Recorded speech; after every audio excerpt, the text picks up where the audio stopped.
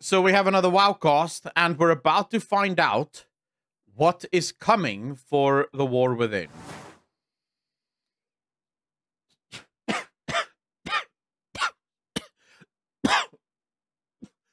Subscribe.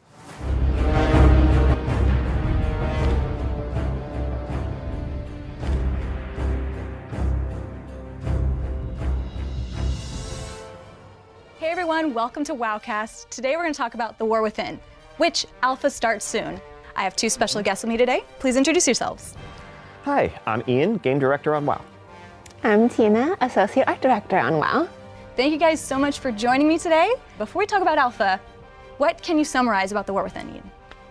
Well, so The War Within, I mean, of course, it is the 10th expansion to well-known video game World of Warcraft. But even, I think, more special Yeah. to us, it's the beginning of the World Soul Saga. It's the beginning of Oh, yeah. probably the most ambitious story we've ever tried to tell in WoW. Uh, so as you know, all expansions do, it kicks off with a journey to a new place.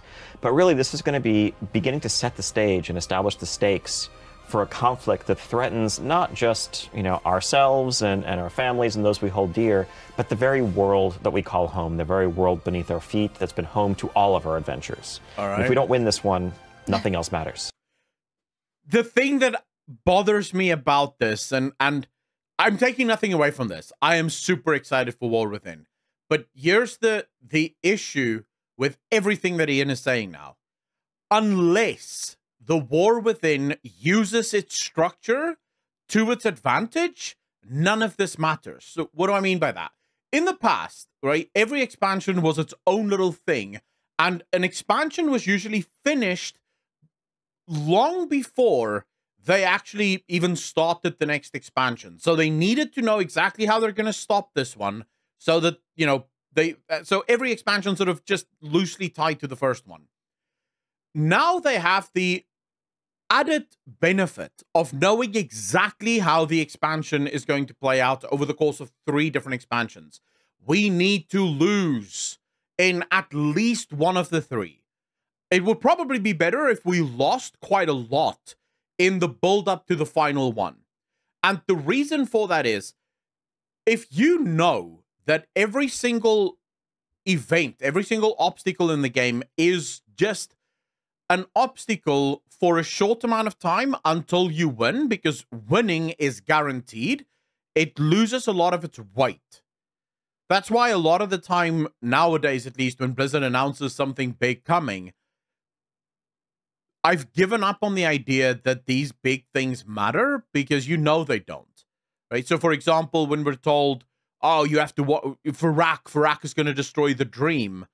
And it's kind of like, oh, yawn. We know Fyrakk isn't going to destroy the dream. We know that Blizzard isn't going to let that happen. We're going to face Fyrakk in a final raid, and then we're going to kill him, and we're going to save the world.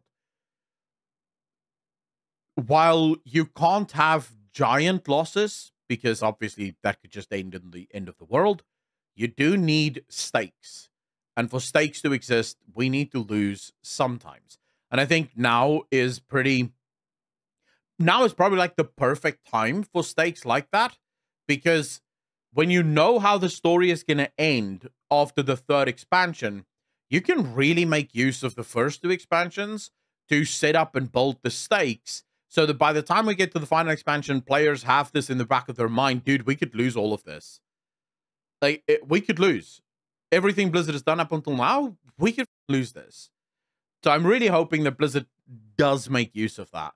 The fact needs to follow the lose the battle, but not the war idea. Take the L at the end of this X pack, but sets up the war. Nico Spider very much agree with that. So this character has been everywhere for The War Within. Xalatath. She's purple, she's amazing. Can you tell us more about her? Yeah, Xalatath is, uh, you know, one of our key villains of the World Soul Saga. The expansion is, I mean, part of it is this journey, uh, delving deeper, find Xalatath and her allies. I don't like the fact that they immediately give that away. One of the key villains of the expansion. Why? Why? Why immediately? I think right now it's sort of becoming clear that a lot of players do not trust the Titans. And even more players are sort of starting to become very sympathetic to the Void. why are we pretending like that's not the case? Why do we keep going around this or down this path of oh the void is bad, Titan's good? And uh, the inspiration uh, for her design from an art side was really based on the uh, priest artifact weapon that she had been trapped in for so long. So if you look at her armor, like all the motifs of you know her belt, her shoulders, really take inspiration from that uh, design. Uh, even the runes on her cheeks. Uh, the Savin Raven, nefarious entity. She's been around as part of the void and there are more than enough pieces of evidence within the game that suggest that the void is not the enemy and that the void being the enemy is propaganda. It's Titan propaganda. We have so many pieces of evidence within the game just in the uh, Dragonflight that suggests that we don't know half the story of what actually happened to the void here. We can go back to Battle for Azeroth and we can rewatch all of my videos made about the information that we got in Battle for Azeroth about N'Zoth and N'Zoth not actually wanting to kill all of us. No, I, I completely reject the idea that she's just a villain. I, not at all. The Void have plans, and by that I don't mean the Void wants to be our friends, but straight up villain, just they want to be the bad guys. I don't buy that. There's there's more than enough evidence to show the contrary to that. Those are a homage to N'Zoth, who freed her from the dagger. Ah, Naifu. Yeah, so if later on in War Within you find yourself, you know, wiping to a raid somewhere, just blame the Shadow Priests for not just putting the knife down. yeah, why Walk didn't they away put from that? the talking dagger, and we wouldn't be here. Oh my and gosh. yet, Um, are there any other familiar faces that we can recognize? Uh, yeah, some of the key uh, heroes of our story are uh, Alleria and Anduin. So these two, they've, I mean, they're, they're running a bit, right, from some of the wounds of their past, but in the end, they're going to find hope and redemption. So, you know, Alleria, we've seen her uh, new design that really reflects the duality of her character. And Anduin, uh, we saw him in our cinematic, and he just looks, you know, a little more haggard. He's, he's been through a lot lately. He grows beard. Wow. They've really matched Anduin's in-game model to uh, the cinematic. I like that. I like that. Yeah, we got absolutely it. get yeah, I mean, the, the name The War Within is one that has a couple of layers to it, right? Obviously, we're literally delving beneath the surface of Azeroth and going to be battling within our world. But this is also a story that involves a lot of inner turmoil and inner conflict. And Anduin is probably the most torn of any of our, our cast of heroes, given what he went through in the Shadowlands.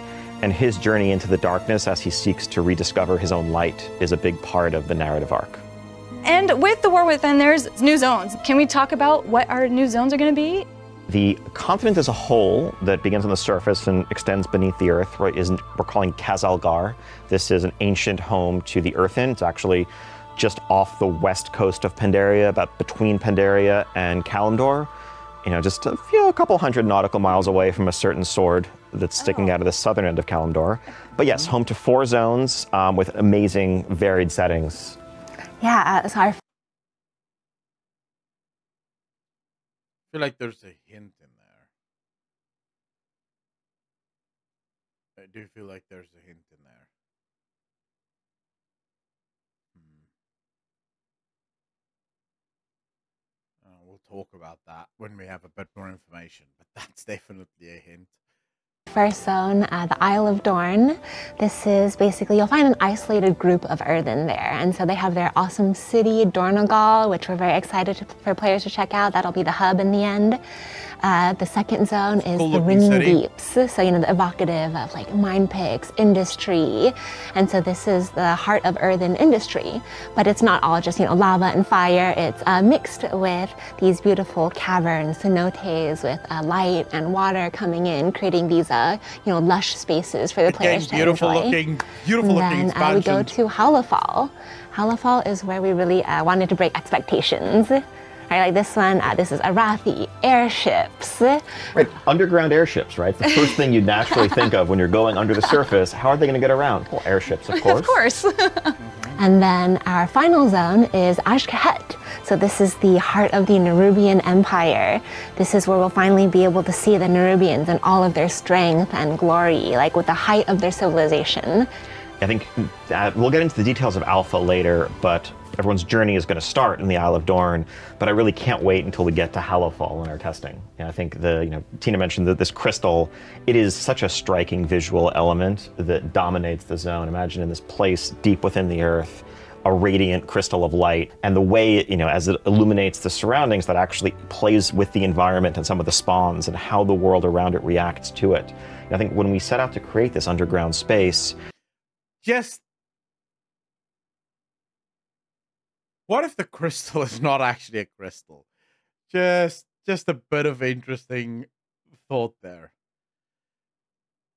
If you want to hide the true purpose and the true sense of what that thing is that sticks out of the the roof then calling it a crystal is probably a good idea because that's what it kind of looks like so why would you do anything else we knew that one of the risks was that it could feel oppressive, that people didn't want to feel the sense of claustrophobia, of you're always in caves. Mm-hmm. Hallowfall, really, from the outset, was built to be a place where, honestly, unless you fly all the way up to check out the ceiling above you, it doesn't feel underground. It feels like you could be outdoors in some vast, welcoming area that's just, it's incredibly epic. When we arrive you to the Isle of Dorn, what's the, the first thing we'll see?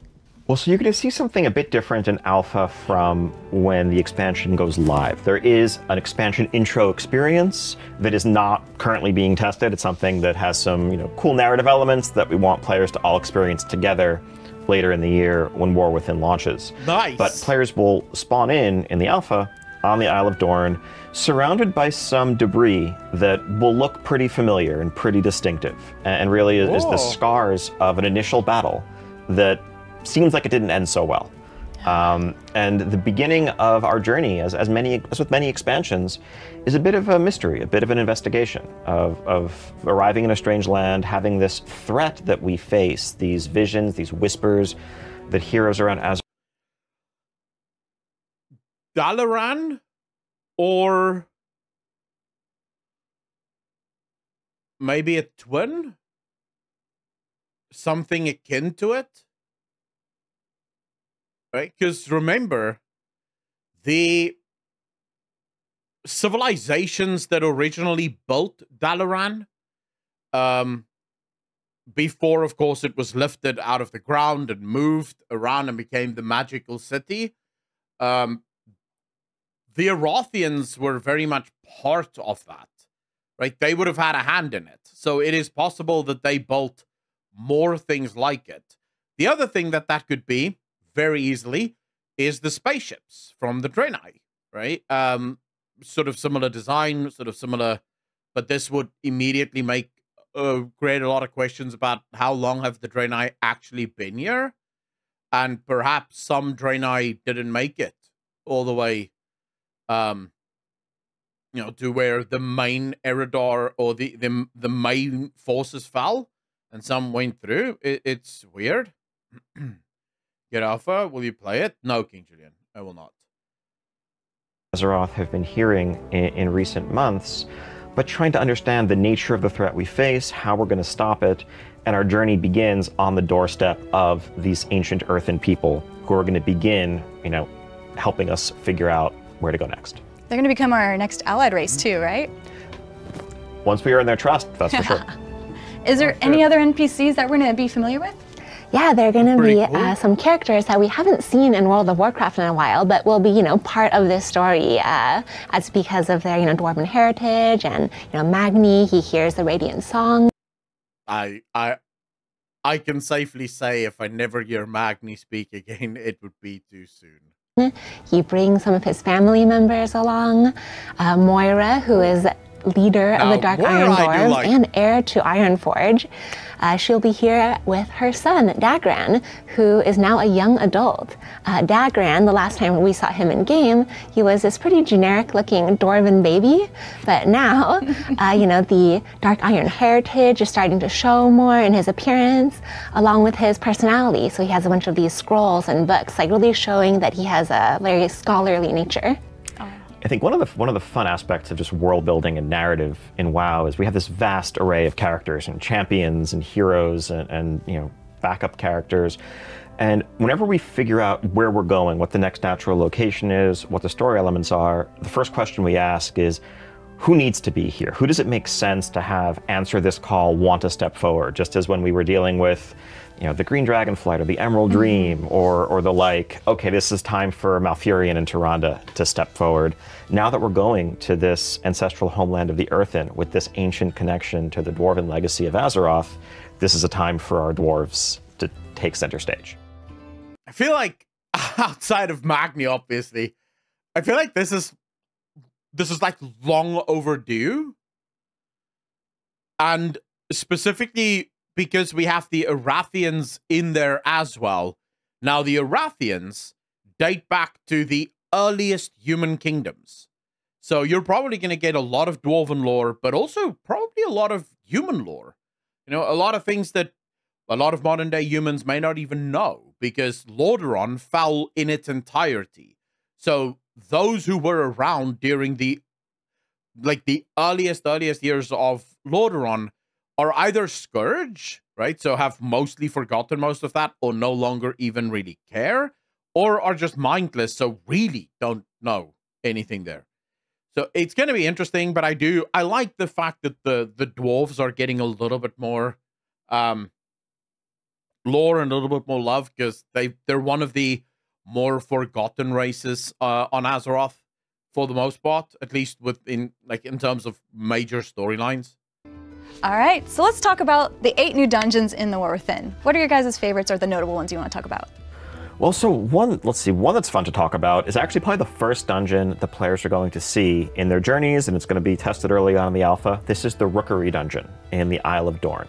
The Rookery is the place where the Storm Griffins were raised and trained by the ancient Earthen over over the centuries. Um, Alright. dwarves and griffins go hand in hand, and the Earthen have a legacy of storm riders that you know we got to see a little sneak Cool peek of if you, you got the War Within Heroic Edition. You might have been flying around on that guy. There's plenty more where that came from in the Isle of Dorn.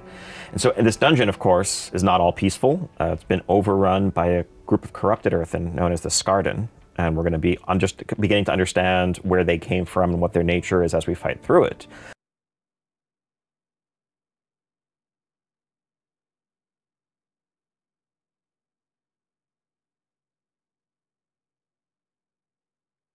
I'm trying to remember here. The earthen are still constructs that have not been turned. If I'm if I'm not mistaken, the earthen are what the dwarves came from.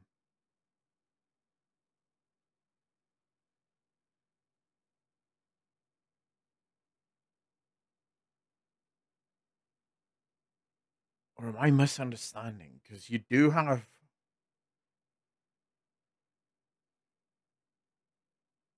It is, right? Yeah. The earthen that got hit with the. Yeah, I'm absolutely correct in that. They're not supposed to be corruptible. If you go back to the original lore, the reason the Curse of Flesh was introduced in the first place was because the constructs could not be corrupted.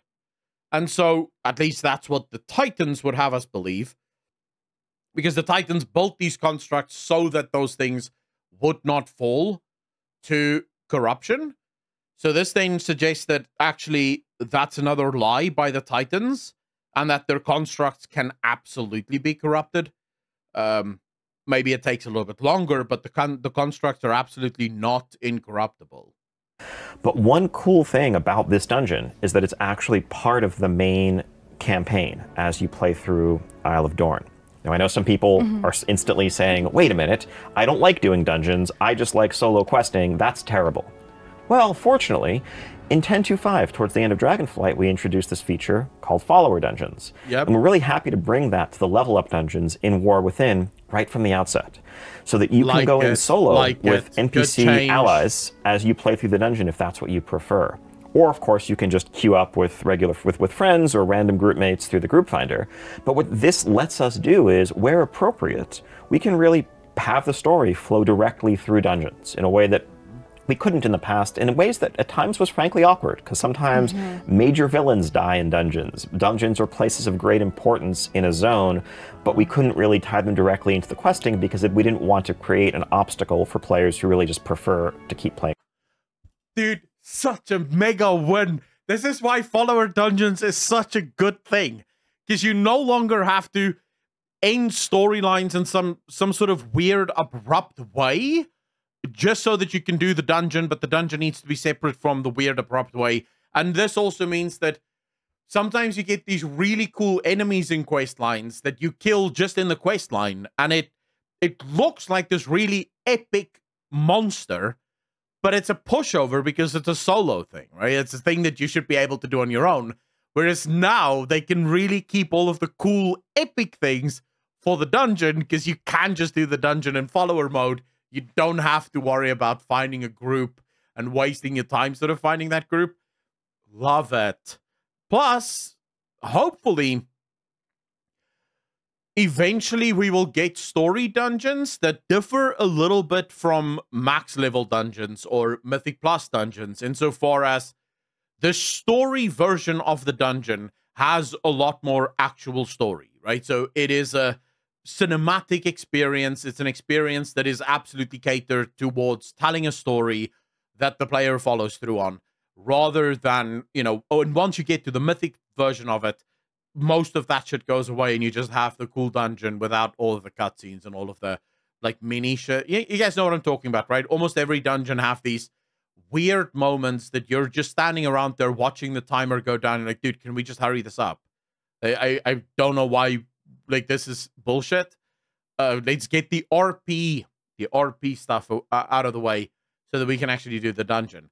Hopefully, we get a lot more RP stuff in the story versions now that you do have those two completely different uh, versions of the game, so to speak.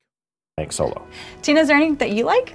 One of my favorites is in Hallowfall. So it's called the Priory of the Sacred Flame, and it's this Erethdor yeah, pretty monastery. Much so uh, one of the coolest parts is the final boss room. There's this giant uh, window that frames the crystal that is embedded in the wow, ceiling of Hallowfall. Cool. And so I love, you know, the beauty of the room as well as just how it ties in with the narrative of the story as a whole. And another really cool one, it's the City of Threads. So this one is underneath the Nerubian city proper. And so it's really uh, interesting to see the ancient civilization that the newer civilization was built on top of. And just to think about the layers of Nerubian history that, you know, is in this wow. land. Is it that the the ancient civilization back in like Lich King? Even far before oh, that. It's even, even farther before that. Yeah, the Nerubians. I think you know we, we might think of them as monstrous or arachnid. They're one of the great powers, one of the great advanced civilizations of Azeroth. Right up. I I made a new video. Uh, you'll you guys will probably see it within the next few days or so. But I made a video in which I basically expressed uh, a lot of doubt because remember the Titans claimed that they were the first, right? Um, that they were the ones who created pretty much everything and that everything sort of stemmed from them.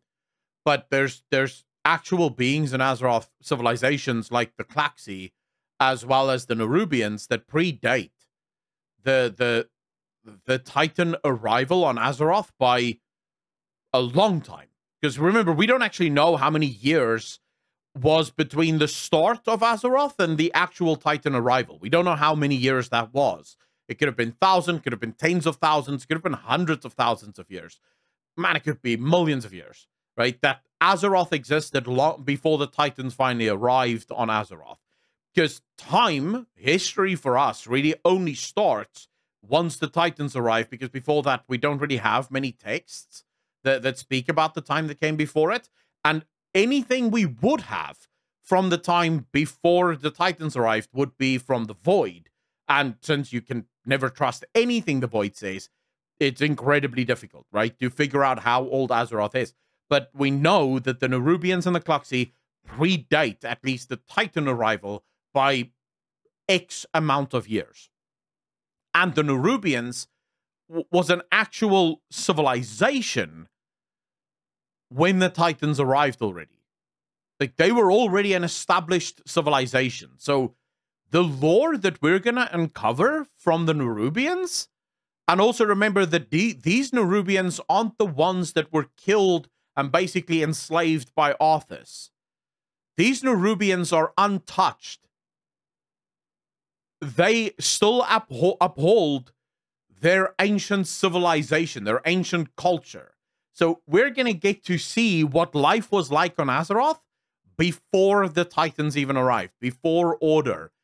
We're going to learn about the old gods and the ways of the old gods. Ah, oh, man, I am so ready for this. There with wow. the you know elves and trolls and the others that helped shape the course of, of the world's history. We've only really seen hints of them going back to, to Wrath. If you ran the Azjol Nerub or Ahn'kahet dungeons, you could see you know their buildings off in the in the background. But you know they were a civilization that at its height rivaled the High Elves and the Nightborne on the surface. That's insane. They were able to go toe to toe with the Lich King's armies and win until the Old Gods and you know their forces on another flank eventually led to the Nerubians being overwhelmed. But really being able to explore what they're all about oh, is one of the things we're most excited about when it comes. You don't expect Nerubians to be cash shop uh, or shop owners. just vendors, just a bug standing around being a vendor selling scrolls and all sorts of doodads. it's to War Within. One of the things we're excited to uh, bring is an arachnophobia filter, if you will. For all of you out there who uh, could never, you know, go to that spider section in Naxx, uh, you'll be able to turn on arachnophobia filter and all uh, spider beasts will turn into crabs. So very pumped about that. yeah, it actually looks, it, it, it, works way better than you might think just hearing okay. that sentence. I can't wait for players to you know, be able to jump in, turn it on, and know, hopefully feel more comfortable in parts of our world. You know, this is Massey. I mean, personally, I don't exactly know how, because I have arachnophobia. I am scared of spiders, but not in video games. The video games doesn't matter or doesn't matter to me because it's not real. It's only if it's in the room with me that it will freak me out. But I'm sure there are people that have in like extreme arachnophobia and in that sense, saying, "Oh, you know, um, just weak," it's like, dude, you you don't control what you have a phobia of, and of course, you can seek help, and there are ways of getting you over that phobia. But if you have it and you would like to play a game, it's kind of nice that the developers are going, we'll take care of this for you so you don't have to worry about this shit as much. Right? I don't view that as as a bad move. I think it's a good move because again, if you're World of Warcraft, you want as many people to play the game as is humanly possible. And this would obviously get people to not want to play it, right? So, yeah, I personally I think this is a good move. Uh, will I use it? No, because spiders don't really bother me in the game, but there are some people that it does bother, right? And so it's a good thing that they're adding this for them. So something that when we announced the Nerubian-centric themes of War Within at BlizzCon, we heard trepidation from portions of our community who love WoW, but were worried they weren't going to be able to experience it. Honestly, prior to that, it's something we heard. okay, King Julian, I'm genuinely not sure if you're trolling or just stupid. Is this is this a lack of intelligence speaking, or is this trolling? How is a toggle to, uh, a toggleable option ruining the game for anyone? You go into the options, you toggle, and then you don't see spiders. Literally everyone else still sees spiders. Just you don't see spiders. How, how is this option changing everyone else's game? Like, anyone. I don't. I genuinely don't understand that logic, but all right. Concerns about from within our own team, where there are you know people who genuinely felt uncomfortable with these elements of the game that we were building together, and so we set out to try to find a solution that would still you know preserve the fidelity of the game, but really make it more approachable, more accessible to everyone. So speaking of the Nerubians, once we reach level 80, we're going to go to the new raid, Nergal Palace. Uh, is there anything you want to speak about that? Yeah, this raid is epic in so many ways. Uh, one of the... Did she call it Nurgle Palace? Surely not. Like, what? Once we reach level 80, we're going to go to the new raid, Nurgle Palace. Uh, Oh. is there anything you want to speak about Never that? mind. I thought Yeah, you said this raid is Nurgle epic in so many ways. like, what? Uh, one of the coolest parts is there's this beautiful uh, showpiece uh, that is just in front of the Queen's palace. It represents the Nerubian race, and it just shows how highly Queen Ansurek thinks of her people and herself. This raid will get one of the sections of the raid will get to check out her innermost sanctum. This is where you know only uh, VIPs for the Nerubians get to go, and you really get to explore the dark elegance of her palace. I think, again, as we were just saying, like the Nerubians, we need to remember they're an advanced race, very, you know, just this epic civilization. I think there's some parallels probably to going back to the Nightborne in Suramar and what going into that city and that palace felt like. We really want to show the sophistication here. It's, this is not a monstrous supervillain lair. This is, you know, a, a superpower of Azeroth that we find ourselves, you know, facing off against. But yeah, the, the Queen Ansurek encounter that Tina mentioned, she's going to be the end boss of sort of the initial season, the initial raid tier.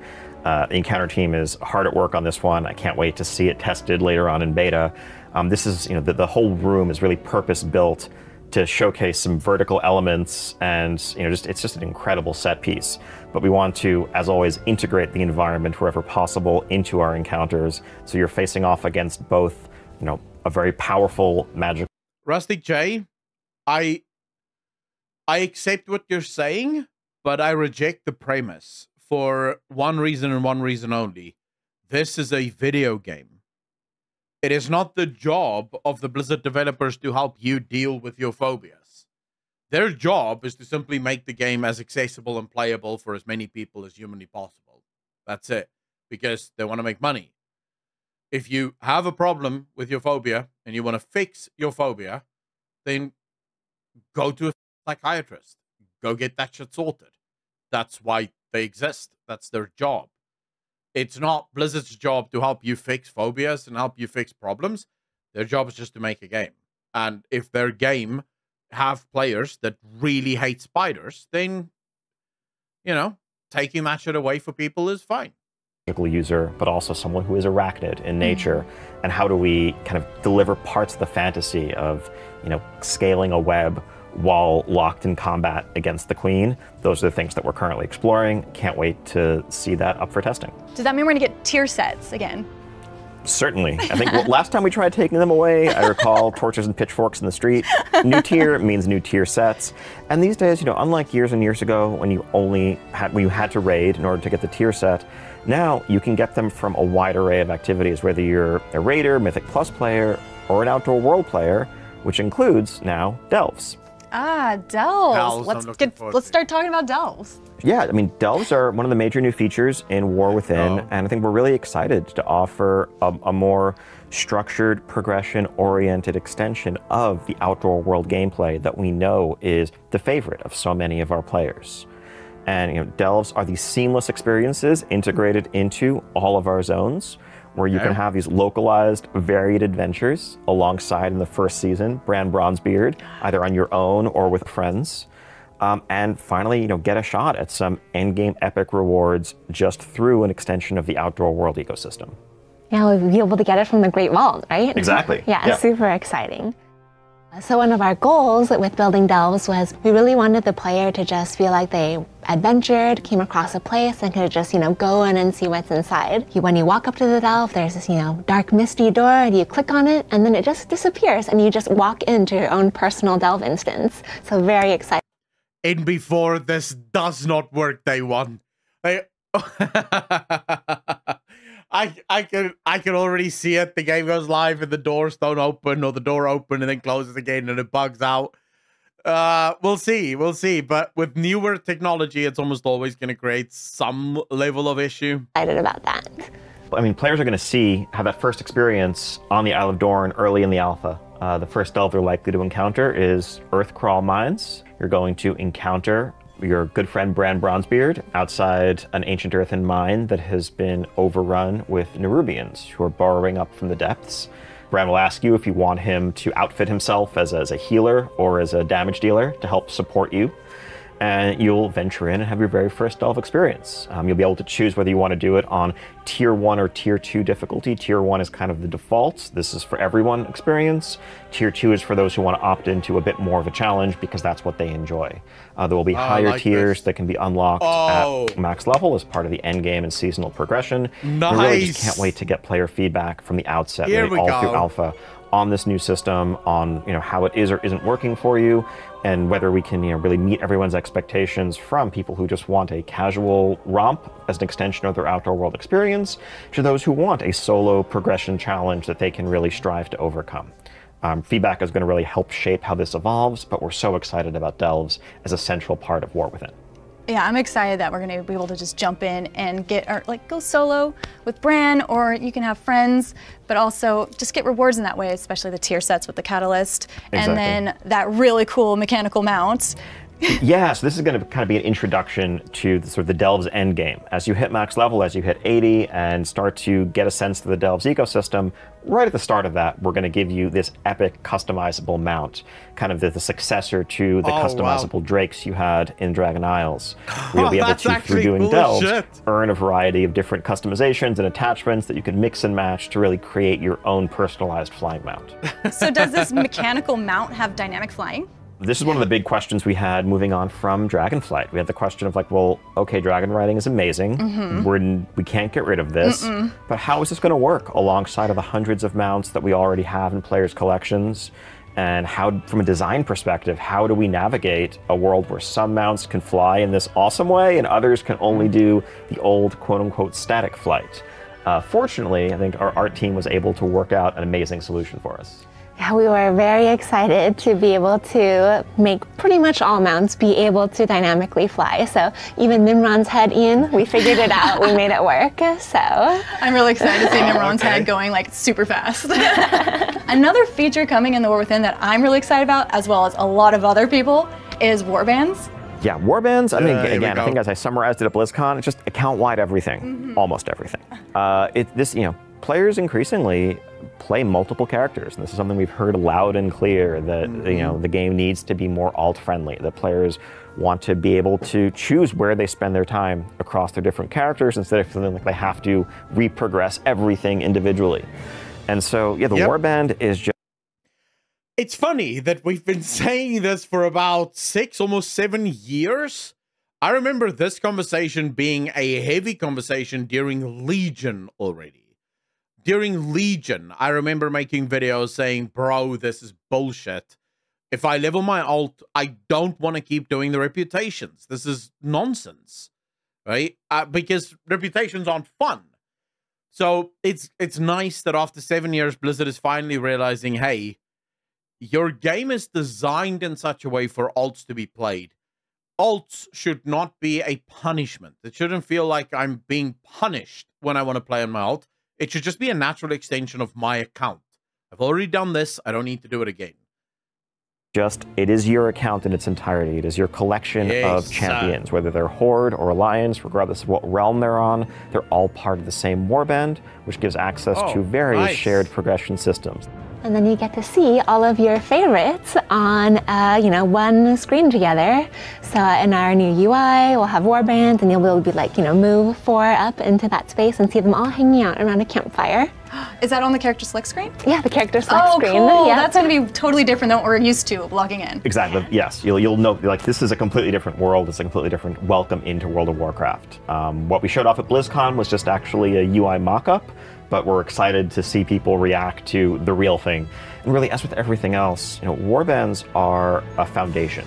There, this is a system that we want to build the next generations of World of Warcraft on. You know, in 2004, WoW launched with everything character-based. In 2024, WoW is going to shift to everything being account based. And we can't wait to hear feedback about what other areas we can expand upon here. And that's going to shape not just War Within, but later updates and expansions. And we're just, you know, just excited about this platform that better reflects the way our players are looking to play World of Warcraft today. Would it be interesting if changing character was a completely seamless experience? If it was possible to do, do you think that would be an interesting move? So you don't even have to log out of the game. You literally run into your little space and just pick another one of your alts and then immediately run out of that space with your alt. Right? And as soon as you exit the door, your alt goes to where they were lost. Imagine like just imagine this was possible from a technical standpoint. Would that be something that people would be interested in? Or does that sound more like a you kind of still want to feel like you are playing a different class and a different character, and this would kind of take that away. So you wouldn't feel like you're playing a different character. You would just it would maybe muddy the waters a little bit. Because money to play as my. Uh, what do you mean not cost money? Kind of like player housing, but obviously in this one we have this little camp thing, right? This little camp space that that is there. I'm just saying you run into that camp uh, camp area and you just go right now. I'm gonna play my paladin, and you immediately shift to your paladin, and now you just run out, and your paladin is out in the world where they were before, and you can just play on your on your paladin. And maybe you have like a, uh, you know like you have your Hearthstone. You have a similar item like this that if you're out in the world and you quickly want to log over to your alt, you literally just hit that button, go to your little campsite, pick a new character, go out back into the world and go do stuff on this alt, right? That maybe you want to do. I'm just sort of thinking it would be cool. I don't think it serves a purpose. I just think it would be a cool thing to do. You can't forget about PvP. Let's talk about it. Yeah, uh, so we have a new battleground called the Deephaul. This one is earthen themed. It's a bit of a mashup between uh, Silvershard Mines and a Arathi Basin. So, you know, hold some points, push some carts. Uh, we're really excited to see how players uh, navigate around this one. Yeah, and in terms of how players are interacting with it, um, there is an overhaul to our rated battleground system that is coming with War Within. Uh, people who've been paying attention over the course of Dragonflight have checked out our uh, Battleground Blitz our kind of brawl that was testing out a 8v8 solo queue rated battleground format. We're happy to move to that as a default for how rated battlegrounds are going to work going forward. I think we're really oh. excited oh. to make that battleground experience that personally I've always felt is the best part of WoW PvP, the larger scale, more cooperative, objective based um, you know, collaborative, and competitive setting as opposed to the deathmatch style in arena, so, to make that more accessible to everyone who you know loves battlegrounds, loves PvP. Um, we know you know it's a bit overdue, honestly. Us mm-hmm. adding. Yeah, well, I think I think one of the things that sucked about rated battlegrounds that almost always meant that most people would not partake in it is the fact that you needed a pre-made group in order to go into rated battlegrounds, and since most people don't necessarily know that many people to do a battleground with, right? Uh, that kind of stopped people. Whereas this probably opens the door for a lot of people that would love to do more battlegrounds, but they don't want to form a group beforehand. You now just hit a button, load into your favorite, you know, into the battleground, and this is a rated battleground where you gain ranks and you you actually compete uh, against people of similar skill and similar level. So I do think, I think this is a bigger W than what most of us can imagine because I'm not a PvPer. So for me, this is just I can see theoretically why this is cool, but of course, you know, uh, I'm I'm not the one playing it. So if there's any PvP people in here, how do you guys feel about this change? Is this something you like or nah? Adding a new battleground map into the rotation and we're excited to do more of this going forward. We're excited to have a new framework that can make Battlegrounds more central to the end game rewarding part of PvP. And mm-hmm. yeah, this is just you know, the beginning of a new chapter. Another feature in the War Within is hero talents. We've been having a lot of articles talking about them. What are some of the other things that we can expect with the hero talents coming forward? Well, I can say there's going to be no more blogs and articles releasing hero talents because they'll be there for you to jump in and play. And I think that's you know the, mo the most exciting thing. We're so grateful to the community for all of the feedback and discussion in recent months, going back to the first blog in December. This really helped us shape this central feature of how people's class gameplay is going to evolve. Um, you're going to see hero talents that you haven't yet seen for the trees that we haven't discussed previously. And for many of the ones that we have released, you'll log in and see changes that are directly shaped by your feedback. Uh, by what we heard loud and clear in some cases about what was and wasn't exciting. Um, we, we've committed to have as many of these playable right shit, from the actually. outset as possible. We will have 100% of the hero talent trees available and playable not long into alpha. And then the rest of the journey is going to be about iteration, tuning, and really just dialing it all in to make the polished experience that everyone's excited Frostfire is about. back. So what are we doing with professions in the War Within? Uh, I think when we, we really overhauled professions in Dragonflight, we saw that as, as a kind of a permanent shift in how professions were going to work going forward. So you can expect, you know, new recipes, different enchants, but the same fundamental sort of progression and structure to professions that you saw in Dragonflight. One big piece of feedback that we heard throughout Dragonflight, though, was a bit of frustration with the work order system from crafters who were just looking to complete quests, looking to skill up, but found themselves competing and often racing to grab work orders w- with their fellow crafters. Um, so what we're excited to offer is a baseline availability of basically NPC crafting orders. Uh, so that could be you know Earthen in Isle Dorn who need a hammer made or need a helmet made, and they're constantly putting their offer, their work orders up onto the onto the market, so there's always something for you to grab. The player not ones will still be more lucrative. And yes, Massey, you are absolutely correct. When you have to complete a work order in order to get some of the profession XP so that you can level your, your profession, and then uh, there's no work order for you to make. And it's like, bro, what how am I supposed to level this? I don't have a work order to make here. The one problem that I have with the profession system in Dragonflight is just it is so convoluted from a leveling perspective. It feels so terrible to level because I love the fact that it's it's immersive as shit, right? You have to learn all of these different things and every single thing does its own thing, but it it it also at the same time Dragonflight is the first expansion where I didn't do professions on any of my alts. I was just like, I could not be asked. There's no shot that I'm doing all of this crap on another character. Zero chance. Uh, I, I don't even want to level another character. Just thinking about the fact that I have to do professions on this character. At least with the old professions, they were boring as shit, but easy to level. I kind of feel like they should make it a little bit easier to level. Uh, just, just even if it just grants more ways of leveling, like more ways of getting the XP or the points required to level up, would already be pretty good rather than the sort of you get a couple of uh, world quests that will give you some profession knowledge, but then the rest of it is like a weekly thing that you'd get. So there's like a set amount that you can level. It it would be better if it's so. Here's the thing that could change. Just one change that could actually make it a hell of a lot better. You know how you have that first craft? Every single time you craft something for the first time, it actually gives you one knowledge that you can then use to level up. Well, what if you did that? Say your first craft gives you one knowledge. After that, every fifth craft gives you one knowledge.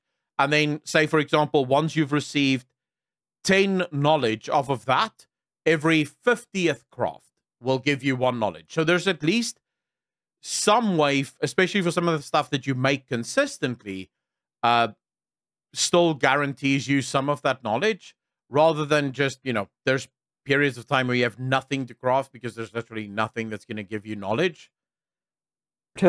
But there should always be that baseline availability if you just want to skill up, you just want to practice your trade skill. And there's also some cool potential for narrative tie-ins, the ability to have quests that now can point you towards that system because we can count on it always being there. So with Dragonflight and the profession overhaul, there was also a UI overhaul. Is there anything we're going to see with the War Within? Yeah, so the UI overhaul, it's basically a continued improvements that we want to make over time.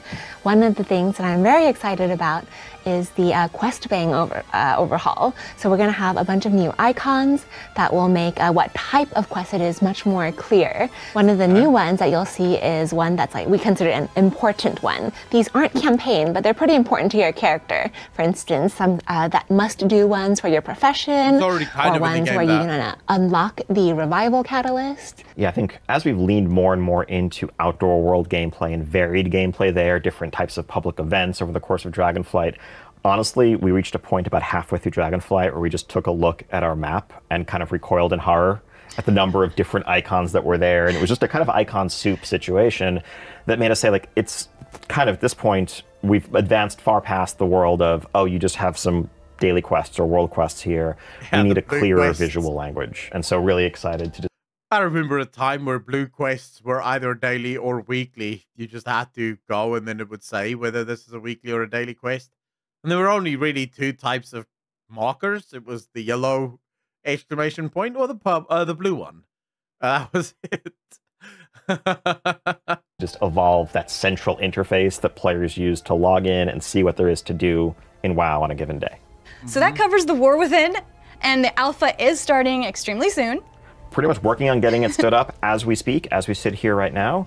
And yeah, so the way this is going to work is pretty similar to the Dragonflight Alpha for those who, who followed that, where really each week, each new build that we release, we're focusing on a different piece of War Within to concentrate player feedback and our attention to just really get all that feedback in and maximize the quality. So we're going to start off zone by zone, level band by level band. This first week is going to be the Isle of Dorn, level 70 to 73 or so, the dungeon and delves there, as well as universal systems like hero talents. With successive alpha builds, we'll move on to other zones, other portions of War Within, um, inviting more waves of people. If you haven't gone to the website to opt in yet, that's a great reminder to do so. Um, we, you know, really pick from. Really, true, there's no secret to it. We're just randomly pulling lots of folks in, and hope to get by the end of this countless people into our testing. Um, once we've gotten through all of those rounds of focus testing, we'll move into our beta phase, which really is an end-to-end holistic test of War Within from 70 all the way to 80 and the end game and beyond.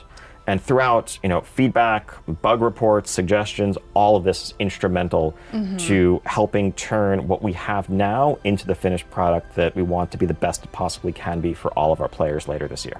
Thank you so much for joining me for the War Within.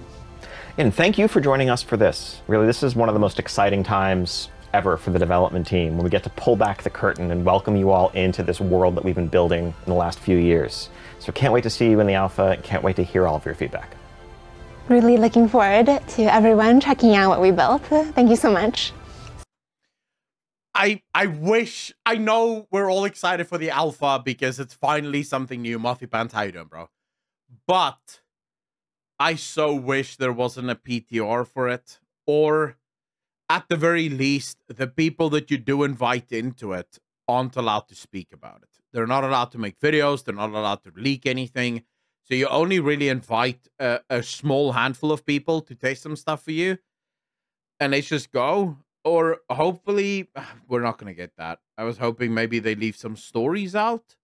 Maybe they don't do the questing experience, and and you basically just go through the world, and you can see the world and taste the the systems, but you don't taste the story. because all this means basically is, you know, we're gonna get by the time Dragon, by the time the War Within launches, the story will already be known, right? I would have already made videos about speculations of what the story is going to be. Every YouTuber out there would have already told you exactly what goes on in the story and how it goes into the story and what you can expect from the story. So basically, the whole story is spoiled before it even goes live, which is kind of sad, right? Um, yeah, I mean, what's the point of a story if it's spoiled before it's even finished? Because you don't get the full experience in beta.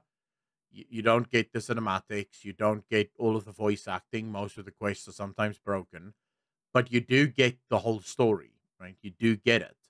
So you don't really you miss out on that fundamental core experience of what it was. But then again, you know, is what it is.